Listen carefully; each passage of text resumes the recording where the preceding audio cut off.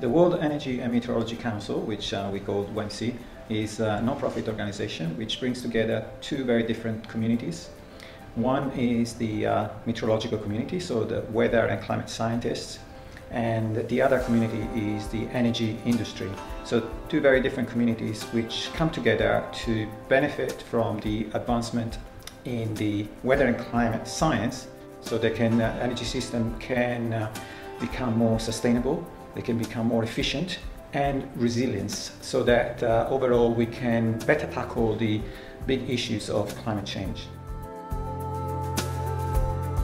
WEMC goals are those to ensure that uh, the advancements made in the weather and climate uh, science community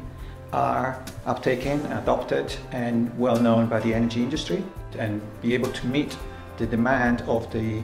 growing population in the world.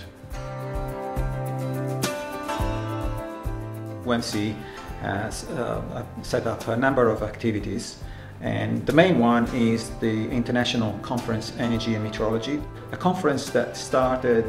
more as a science community based is now attended more and more by energy industry people who really enjoy the interaction with the uh, science community, learn a lot about the latest developments and uh, can then go back to their job and use the latest developments in the best possible way.